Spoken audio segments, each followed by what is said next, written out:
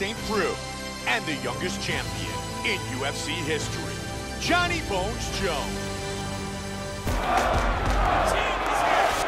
A standout collegiate football player at the University of Tennessee, Ovince St. Preux. And here we go. The light heavyweight belt is on the line. Five-round fight. White trunks for Jones. Black trunks for the champion. Jon Jones is very good at countering his opponents. Keep an eye out for that in this fight.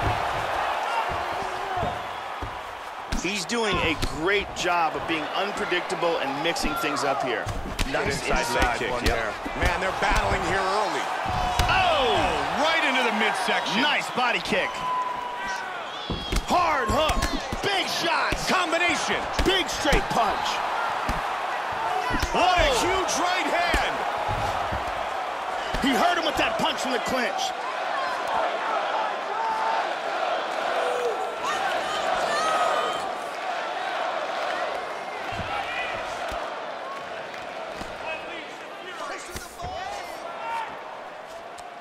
They battle in the clinch, looking for a dominant position. He. He's hurt bad.